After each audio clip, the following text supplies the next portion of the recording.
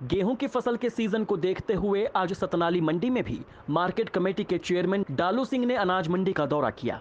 इस दौरान उन्होंने किसानों और आड़तियों से मिलकर उनकी परेशानियों को जाना। वहीं किसानों की परेशानियों को सुनकर मार्केट कमेटी के चेयरमैन डालू सिंह ने आश्वासन दिया कि अगले सीज़न तक अनाज मंडी में शेड तैयार कर दिया जाएगा। तो वहीं पानी के बोरवेल को एक महीने के अंदर ठीक करने का आश्वासन दिया। अब देखना होगा कि अनाज मंडी में किसानों की सुविधाओं के इंतज़ाम आखिर कब तक पूरे होते हैं। हमारे बीच मार्केट कमेटी में चेयरमैन डालू सिंह जी आए हैं मार्केट कमेटी चेयरमैन।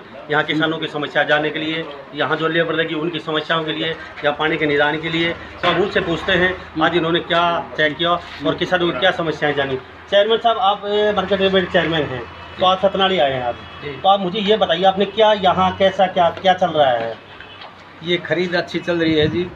गेहूँ की किसानों को कोई दिक्कत नहीं मैं सब किसानों से पता किया है जी अच्छे उनके टेम पर खरीद हो रही है और सारी व्यवस्था है किसान को कोई दिक्कत नहीं सिरसियों यहाँ थोड़ी ही कम खरीद है क्योंकि सरसों की पैदावार यहाँ कम है महेंद्रगढ़ में ज़्यादा सरसों की पैदावार है तो सर मुझे ये बताइए अभी पानी की यहाँ बोरवेल है, तीन चार साल से यहाँ पड़ा हुआ है वो अभी चालू नहीं हुआ। कोई साइड की नहीं आप दो हज़ार सोलह से साइड की कहते आ रहे हैं कि साइड बन जाएगी बन जाए तक साइड नहीं बनी इसका क्या कारण है?